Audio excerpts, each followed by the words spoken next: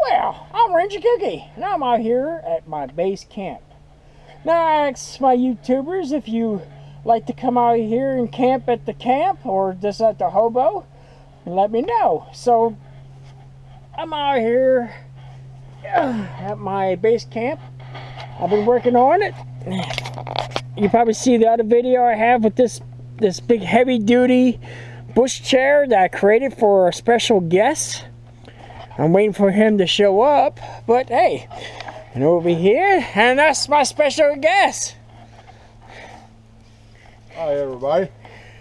How you all doing out there in YouTube land? And this is the big grumpy guy. How you doing? All right, he come out here to see the camps and hobo and camp out for a few a few days. So how you enjoying it? I'm absolutely loving it out here. Beautiful area you got. Your camps, both of them, are just fabulous. I love everything the way it's set up. Just And look, it's just great. I I, I don't know what to say other than it's just great. I even made this big A-frame for special guests that sleeps on the ground. You don't have to sleep on the ground and heavy duty. And now everybody remember, I'm about 250, maybe 260. And uh, I got it'll hold me right up.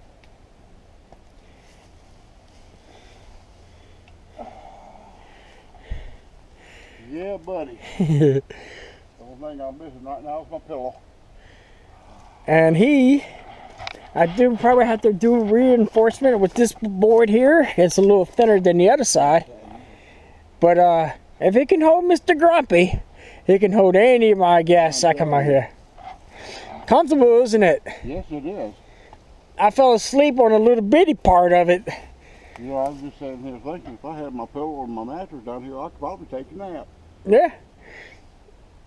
Make sure you're on the other side. yeah. Yeah, this is not tied down. If I just tied that down, we'd be all right.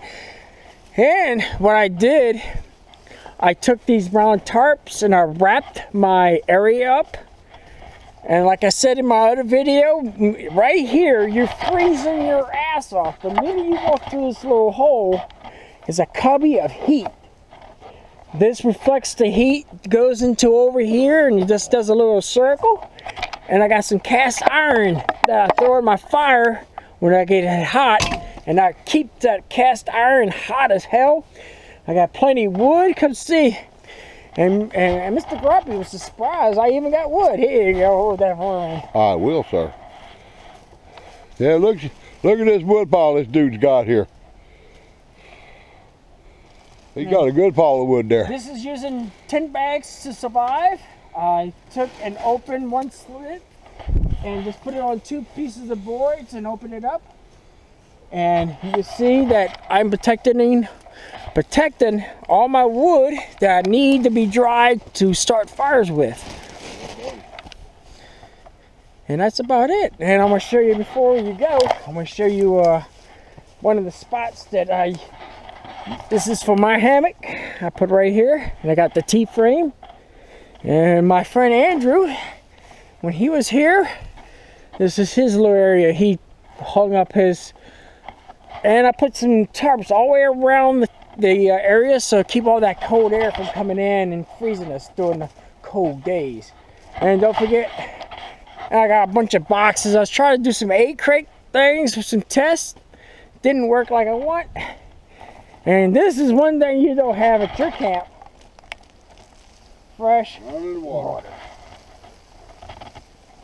Alright, I hope you enjoy this short video of me and the Grumpy. Hey guys, and alright, I just want to say thank you for tuning in. I hope you enjoy my other videos.